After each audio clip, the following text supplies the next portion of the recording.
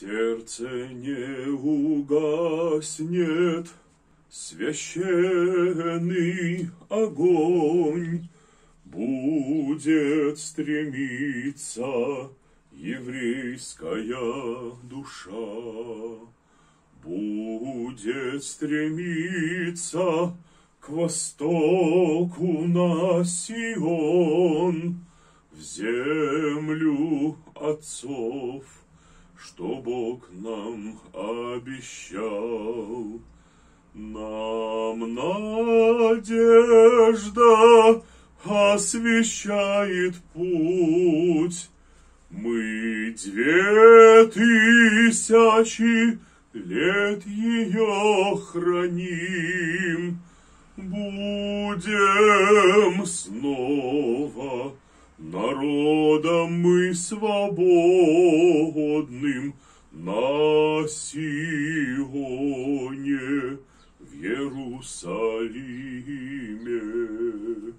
Будем снова народом мы свободным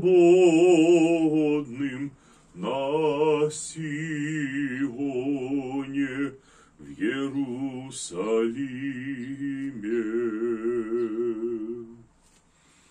Бог да благословит Израиль. Это песня, ставшая гимном возрожденного и возрождаемого Богом еврейского государства. Она звучит сегодня на разных языках мира. Я спел ее на русском языке. Поем мы ее на иврите. И когда слышим слова этой песни, то мы действительно размышляем о нашей надежде, вере и любви. Великое чудо, геополитическое чудо свершилось тогда, 74 года тому назад. Да, Израилю в этом году исполняется 74 года.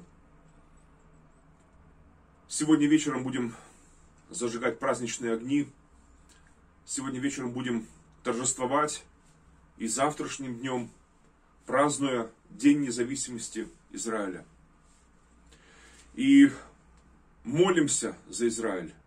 Для верующих этот праздник, для тех вообще независимо от конфессии, деноминаций, христианских там или нехристианских, для всех